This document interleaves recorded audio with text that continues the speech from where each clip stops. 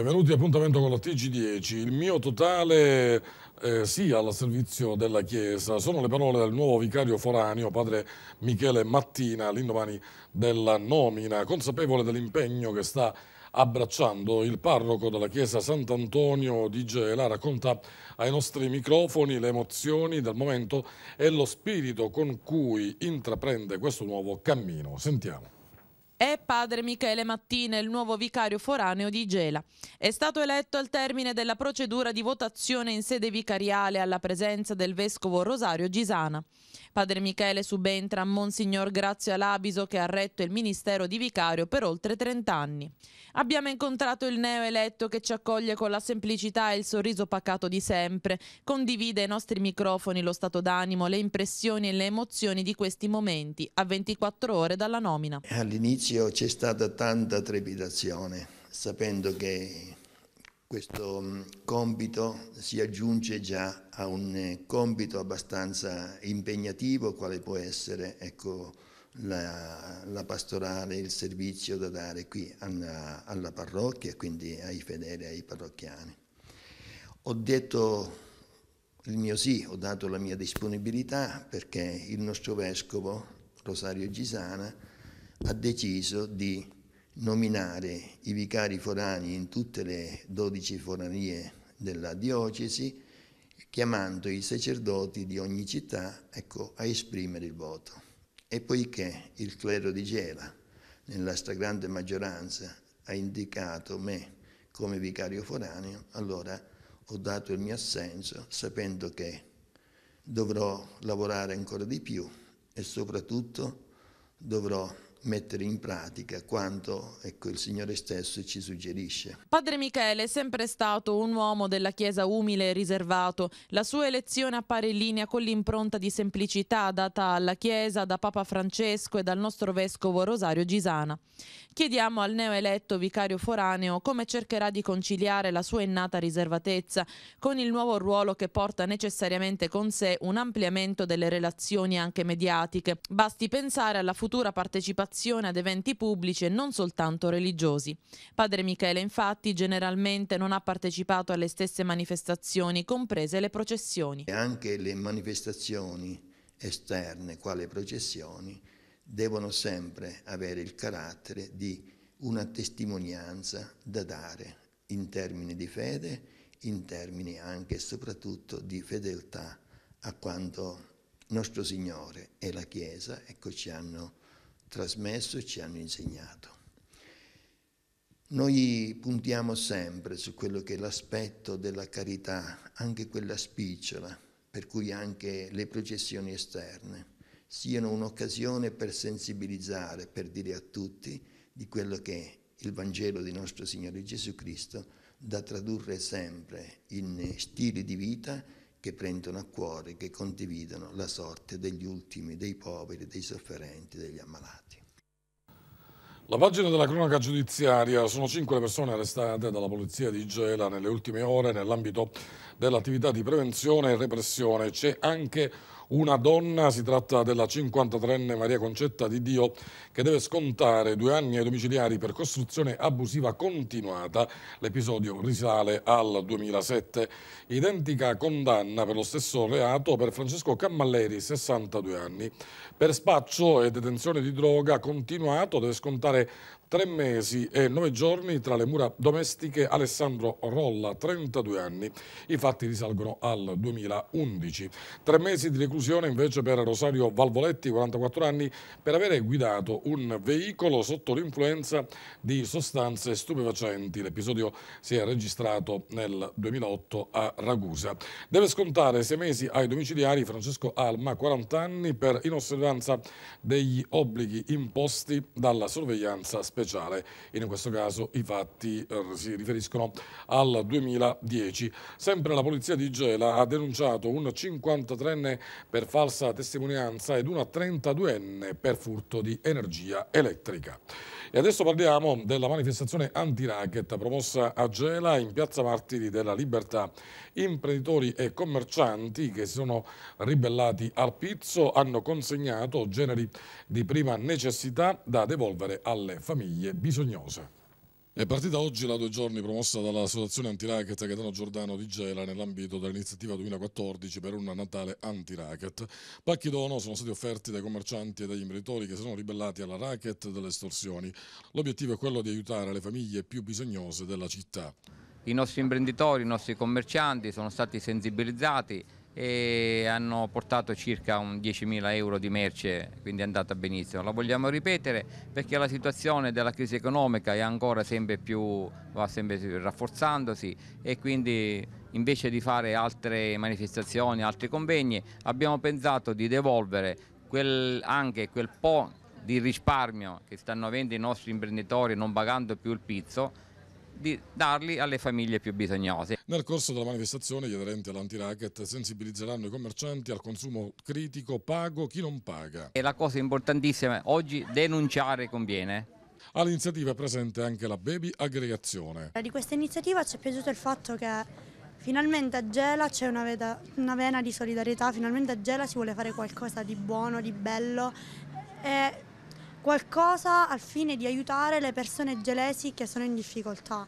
Noi da parte nostra abbiamo messo il nostro appoggio per quanto riguarda incentivare i giovani ad avvicinarsi alle, a queste situazioni, a queste manifestazioni appunto per promulgare eh, l'impegno del volontariato e della solidarietà. La distribuzione dei pacchi dono avverrà presso le sedi delle associazioni che hanno aderito all'iniziativa, le quali si occuperanno della consegna. Ci sono tantissime famiglie, tante giovani coppie che avevano il lavoro, vivevano dignitosamente ma oggi lo hanno perso e quando nel nostro centro di ascolto, come ho detto l'altra volta, vengono le mamme, le, le mogli, guardi che è un momento molto brutto perché eh, perdere il lavoro, non avere il lavoro per la famiglia significa non avere dignità, non avere eh, più niente, non avere obiettivi e questo è un dolore mm, per noi che eh, condividiamo questo momento di sofferenza di tante famiglie. Ogni anno il Paese risponde in modo generoso in questi momenti di solidarietà e invitiamo tutti quanti a partecipare perché il poco di, di tanti può, può rappresentare molto per tante famiglie bisognose. Raccolta di firme contro l'aumento della tassa sui rifiuti, la Tari, promossa da Articolo 4 a Gela, si terrà oggi dalle 17 alle 20 in Piazza Umberto I e domani dalle 9.30 alle 12 ai muretti di Macchitella. Articolo 4 ha chiesto al sindaco Angelo Fasulo di riportare in Consiglio Comunale il regolamento in modo da modificare l'applicazione della Tari. Le proposte sono la riduzione in base all'aspetto reddituale ISEE, la riduzione del 50% per i diversamente abili, identica riduzione per tutte le attività commerciali ed ancora l'eliminazione della Tari per le pertinenze, garage, box e cantine e l'eliminazione della quota variabile per le seconde case non abitate. Una caserma, quella dei Vigili del Fuoco di Caltanissetta, con problemi strutturali che dovrebbero essere sanati dall'ex provincia, che al momento, per la crisi economica che sta attraversando l'ente, in fase di transizione ai consorzi di comune, non è in grado di intervenire, che vengono sopperiti in parte dagli stessi vigili. Questo è l'unico problema che il comandante Gianfranco Scarciotta evidenzia in seno alla caserma, smentendo le voci diffuse nei giorni scorsi sul dimezzamento del parco mezzi in dotazione al comando e alla carenza di personale. Al momento infatti è di 200 unità il personale in servizio a Caltanissetta che riesce a dare risposte adeguate anche al territorio di Gela, Mussomeli, Mazzarino e al distaccamento volontario di Niscemi. Devo innanzitutto smentire il fatto che eh, il comando di Caltanissetta, quando parlo di comando parlo non solo della sede centrale di Caltanissetta ma parlo anche delle sedi distaccate, quindi parlo di Gela, parlo di Mazzarino, parlo di Mussomeli e parlo del distaccamento volontario di Niscemi. In tutte quelle sedi eh, non abbiamo in questo momento alcuna difficoltà con riguardo agli automezzi e posso addirittura aggiungere che nessuno dei nostri automezzi in atto si trova in riparazione. Con riguardo invece al, al, all'attitudine e, al, e, all'impegno che mettono i nostri vigili, il nostro personale nell'assicurare la manutenzione ordinaria degli automezzi, questo è vero, ma questa è una nota che va a loro merito. Così come a loro merito va anche eh, questo impegno eccezionale al di fuori del normale che stanno mettendoci per eh, porre mano anche ad alcune criticità che sono relative all'immobile che adesso ospita la sede centrale di Caltanissetta eh, perché da tempo non vengono realizzati interventi specifici di adeguamento ma anche di manutenzione straordinaria per le note difficoltà dell'ex ente provincia che è il nostro locatore. E allora, bene, siccome abbiamo delle professionalità, della gente che sa lavorare, parlo di, di, di muratori, parlo di, di, carpentieri, parlo di pittori, parlo di idraulici, parlo di tanta altra gente che si sta sbracciando per cercare di eh, dire, dare eh, dignità alla loro sede di servizio e per consentire di viverci nella, migliore, nella maniera migliore possibile. Domani più di 1850 città del mondo si illumineranno per dire no alla pena di morte. Anche Gela per la prima volta aderirà all'iniziativa promossa dalla comunità Sant'Egidio, il cui responsabile è Selenia Laspina, in collaborazione con l'associazione Trischelion Teatro. La manifestazione si svolgerà nella parrocchia Santa Lucia con inizio previsto per le 18.30 con la celebrazione eucaristica presieduta da Luigi Petralia e con la testimonianza di Shuya Graham, ex condannato a morte in California. I beni storici e archeologici di Gela, una risorsa da valorizzare per lo sviluppo economico e sociale del territorio, è il tema del convegno che si terrà sabato 6 dicembre alle 17.30 al museo. L'iniziativa è promossa dal club UNESCO. Altra ricca ed interessante puntata di Agorà quella andata in onda ieri sera. Il rotocalco settimanale della nostra emittente ha messo al centro del dibattito televisivo la crisi della politica locale proprio alla vigilia di una campagna elettorale che si preannuncia carica di spunti e per niente scontata. Ma chi si vorrà candidare alla prossima guida della città dovrà fare i conti con un pericoloso avversario in più, ossia l'astensionismo sempre più dilagante la gente che si allontana sempre più dalla politica ed un disamore crescente verso chi amministra e ricopre ruoli politici pubblici. Ad animare il dibattito in studio quattro ospiti ed esponenti di alcuni dei maggiori partiti presenti in città. Intanto i due partiti che governano Gela, e cioè il PD e l'ex MPA. Per il Partito Democratico è stato presente il vice segretario provinciale Giampaolo Alario. Per gli autonomisti invece il deputato regionale onorevole Pino Federico. A completare il parterre di ospiti di Agorà il segretario cittadino di Articolo 4 Maria Ferrera, maggior partito di opposizione in Consiglio Comunale, ed il presidente del club di Forza Italia cittadino Ingegnere Ignazio Russo. Come sempre pregnante ed incisiva, puntuale ad arricchire ogni puntata di Agorà, la scheda di Giulio Cordaro dal titolo Fuori dal coro. Chi volesse rivedere la puntata di Agora andata in onda ieri sera potrà farlo con la replica che andrà in onda domani a partire dalle ore 21 su canale 10 oppure collegandosi già dalle prossime ore con il nostro profilo Facebook dove sarà caricata l'intera trasmissione di ieri sera. Agora tornerà in diretta venerdì prossimo dalle ore 21 con nuovi ospiti e nuovi argomenti che riguardano Gela e Di Gelesi. E la replica della trasmissione Agorà condotta in studio da Franco Gallo non andrà in onda domani sera alle 21, ma martedì in prima serata sempre alle 21.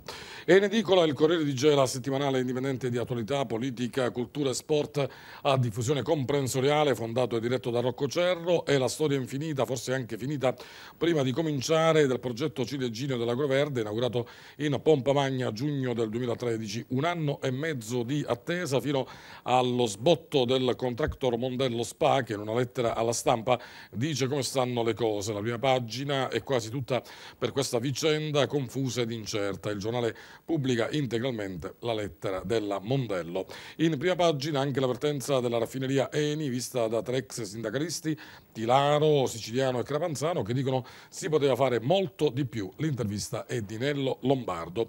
Giulio Cordaro nella sua politica, nella sua rubrica politicamente scorretto, punta il dito sulla spettacolarizzazione organizzazione dei funerali chiamando in causa i preti che dovrebbero essere meno indulgenti verso questa discutibile moda. Un'intera pagina sul musical del Cesma che ha riproposto per scopi umanitari il suo cavallo di battaglia Jesus Christ Superstar, il musical più famoso nel mondo. Il servizio è di Antonella Cinzia Sciagura. All'interno inoltre servizi di attualità e cultura di Lucrezia Ferro, lo psichiatra Franco Lauria e lo sport a cura di Orazio Accomando con le ultime su calcio e pallavolo. In ultima pagina la consueta eh, pagina di annunci economici, gratuiti, affari e lavoro. Il Corriere di Gela, lo ricordiamo, è in edicola. Noi adesso ci fermiamo, diamo la linea alla regia per la pubblicità. Eccoci, seconda parte del telegiornale. È possibile presentare le istanze per accedere al servizio di telesoccorso Non lasciamoli soli. Il servizio è destinato a 150 anziani ultra 65 anni in condizione di parziale o totale non autosufficienza o disabili con handicap grave residenti nei comuni di Gela, Niscemi, Mazzarino e Butera. Lo comunica il comitato dei sindaci del distretto sociosanitario numero 9. Le istanze corredate dalla documentazione prescritta devono essere presentate entro il 19 dicembre prossimo, termine perentorio, presso il protocollo generale del comune di residenza o inviate per mezzo posta con raccomandata corredata dalla ricevuta di ritorno. In quest'ultimo caso farà fede il timbro postale. Il modello di stanza può essere ritirato presso i servizi sociali del comune di residenza. Appuntamento con i manufatti creative dal 2 al 7 dicembre prossimi dalle 10 alle 12 e dalle 16.30 alle 20 nei locali dell'ex chiesetta San Biagio di Gela. L'iniziativa che si ripete ogni anno nel periodo natalizio è patrocinata dal Comune.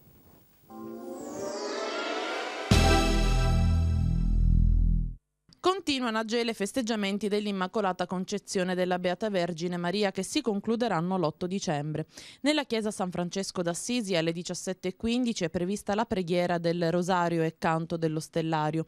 Alle 18 l'Eucarestia con i gruppi e i movimenti parrocchiali e alle 19.30 la seconda rassegna di musica sacra, omaggio a Maria della banda musicale Sound Waves del Movimento Giovanile San Francesco.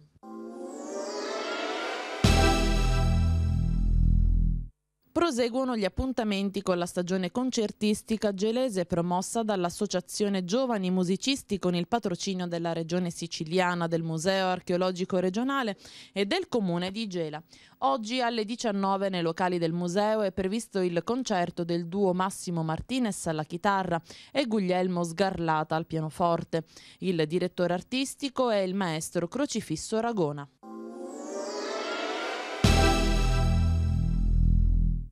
Sono tre le donazioni di sangue promosse dalla sezione gelese dell'ADAS presieduta da Felice Damaggio. Si terranno domani nei locali del poliambulatorio ASP 2 di via Roma a Mazzarino e lunedì 1 e venerdì 5 dicembre nel centro di raccolta fisso di via degli Appennini numero 5 a Gela.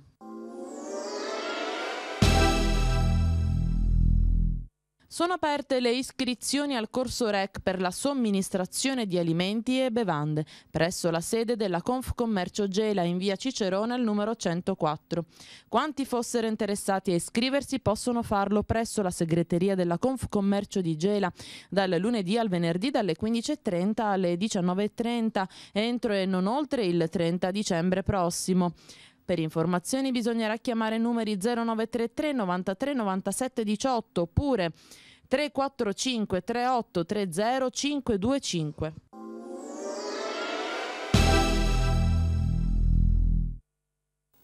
La pagina dello sport, il calcio, il presidente dell'Atletico Gela, Cristiana Paradiso, ci ripensa dopo un chiarimento con alcuni dirigenti del comitato regionale della Lega, della Lega Nazionale Dilettanti, il patron ha deciso di continuare. La squadra domani sarà regolarmente in campo al Presti contro il Città di Catania. Rassicurati in questo caso anche giocatori eh, e staff tecnico, torna dunque il sereno dopo l'amarezza dei giorni scorsi. Sentiamo ai nostri microfoni proprio Cristian Paradiso.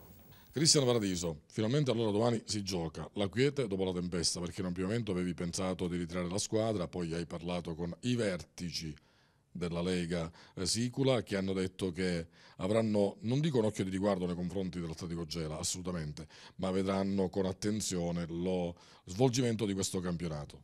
Ma un occhio di riguardo no, perché comunque tutte le squadre dei, dei gironi siamo tutti uguali, noi non vogliamo essere regalato niente da nessuno. Il problema è stato proprio un altro, che comunque pur giocando la mia squadra, l'Atletico Gela, una squadra combatta e dinamica, ci vediamo rubare le partite in questa maniera. È... Sinceramente io avevo deciso anche di ritirare la squadra dal campionato proprio per dare un segnale alla Lega di attenzione a questi arbitri che mandano. Non è possibile che alla Sicula Leonzi vada a perdere 2-1 con, eh, non dico due gol regolati, ma uno è sicuro. Io almeno lì dovevo andare in, in pareggio la partita sul, sullo scontro di Coppa Italia mi mandano degli arbitri della stessa provincia di Ragusa, quindi di Santa Croce di Ragusa, provincia di Ragusa, quindi non è una cosa fattibile che si possa fare. In questo senso io ho avuto una riunione con i, con, i vertici della Lega, dalla quale prenderanno attenzione di questa mia osservazione che si è stata fatta e quindi perché no non poter procedere al campionato. Anche perché poi i giocatori, l'allenatore, il direttore sportivo ultimamente avevano dichiarato che sarebbero scesi ugualmente in campo domani per affrontare la partita con il città di Catania? No, sicuramente, i ragazzi non è che sono scesi in campo per fare, per fare una forma di protesta contro di me, questo precisiamolo. I ragazzi si volevano autogestire proprio per dare un senso e un'immagine buona che attualmente sta avendo l'Atletico Gela grazie a, a loro stessi e grazie a quello che il, del mio lavoro che sto facendo come presidente. I ragazzi la, volevano dimostrare anche domani, pur io contrario, di essere sempre una squadra dinamica, una squadra che comunque combattiva. Però che comunque in ogni caso l'importante è che abbiamo sistemato alla meglio, siamo ritornati nelle nostre, quindi penso di, di, di, poter andare avanti tranquillamente. Ora dopo due sconfitte consecutive, campionato e coppa, domani invece bisogna assolutissimamente vincere, eh, come dicevamo affronterete in casa il città di Catania e finora in casa, esclusa la Coppa Italia, ci riferiamo alla partita di mercoledì col Santa Croce, avete fatto sempre bene. No, vabbè, noi ce la giochiamo, è, è logico che le partite vanno giocate in campo, vinca sempre la migliore secondo la, la mia opinione, perché è giusto così. Se l'Atletico Gela merita di vincere, è giusto che debba vincere. L'associazione Orizzonte Gela, con il patrocinio dell'amministrazione comunale, organizza l'European Basketball Week. La settimana del basket si svolgerà da oggi al 7 dicembre prossimo in 33 nazioni e vedrà coinvolti 18.500 atleti con e senza disabilità. In Italia l'evento si terrà in 14 regioni con la partecipazione di 4.835 atleti. L'unica data siciliana è prevista a Gela il prossimo 3 dicembre dicembre alle 9 al Palacossiga di Marchitello dove si eh, svolgerà un torneo di basket unificato che coinvolgerà le scuole primarie e secondarie di primo grado. La pagina dello spettacolo è Due giorni, una notte, il film in programmazione al Cine Teatro Antidoto di Macchitella a Gela. Vi ricordiamo gli orari 19.30 e 21.30. Noi abbiamo chiuso anche per oggi, grazie per averci seguito. Appuntamento a lunedì.